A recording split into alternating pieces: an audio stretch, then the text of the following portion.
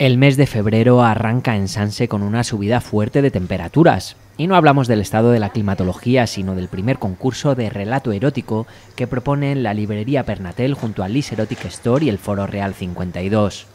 Se trata de una propuesta literaria abierta a cualquier escritor que quiera participar a través de textos cuya premisa principal esté centrada en el sexo de temática bondage o sadomasoquista, en el que la presencia de cintas, cuerdas, esposas, cadenas, fustas o mordazas puedan tener un papel protagonista en la historia. Sí, a la gente le llama bastante la atención el tema, la verdad. Y aquí en la librería también tenemos una clientela fija de ese tipo de literatura.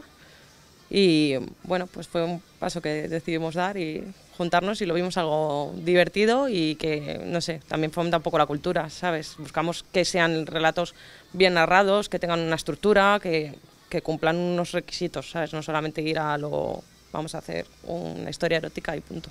El ganador recibirá un pack de productos eróticos, un pack de libros y una cena para dos en el restaurante Foro Real.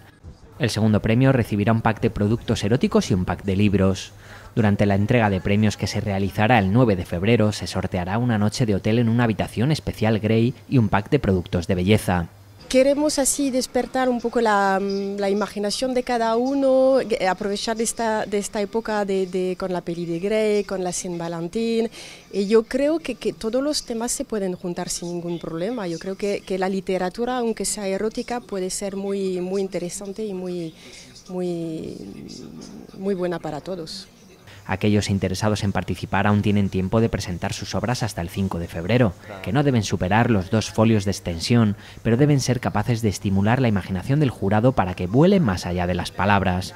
Unas palabras ardientes capaces de atarnos y someternos a su lectura.